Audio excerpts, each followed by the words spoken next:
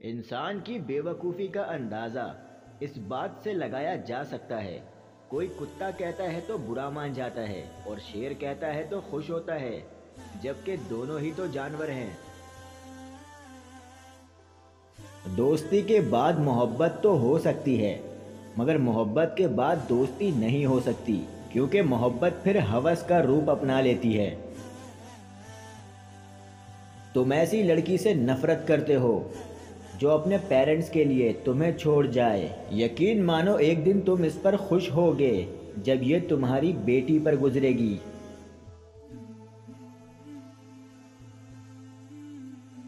बात तो संस्कारों की है, वरना जो सुन सकता है, वो सुना भी सकता है।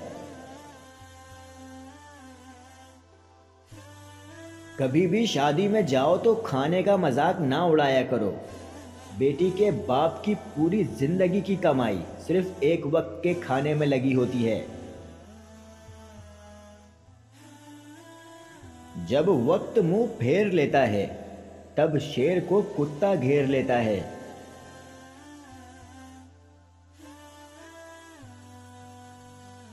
आजकल लोग हमारी ज़िंदगी में इस तरह से आते हैं, जैसे मेरी वीडियो पर पाँच सेकंड का ऐड आता है और आप लोग स्किप कर देते हो। मोहब्बत और दोस्ती ये दो चीज़ें ऐसी हैं जो हर तूफ़ान का मुकाबला कर सकती है, मगर एक चीज़ है जो इन दोनों को तोड़ सकती है, और वो चीज़ है गलत फहमी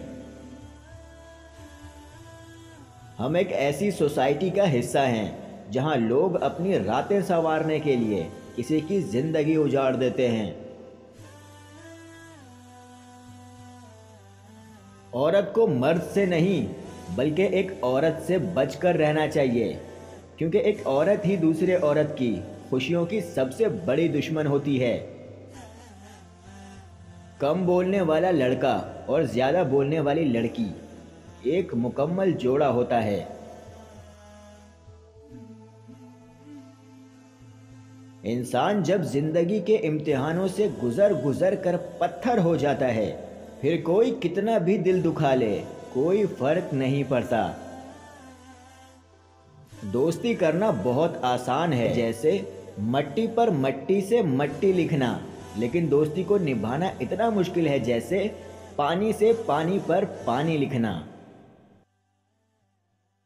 हेलो दोस्तों, अगर आप मेरे चैनल में पहली दफ़ा आए हो तो चैनल को सब्सक्राइब करो और बेल आइकन दबाओ ताकि आने वाली वीडियोस की अपडेट आप तक पहुँच जाए।